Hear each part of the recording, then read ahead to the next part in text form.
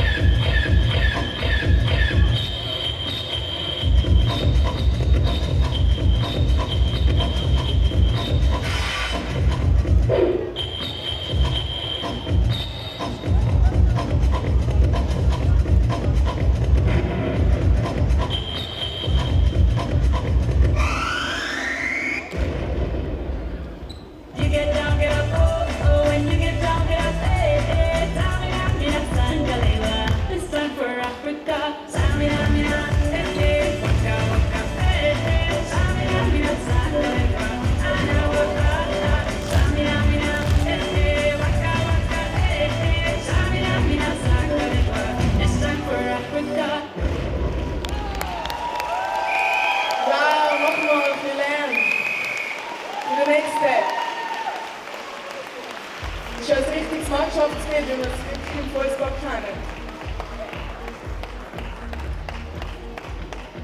Genau.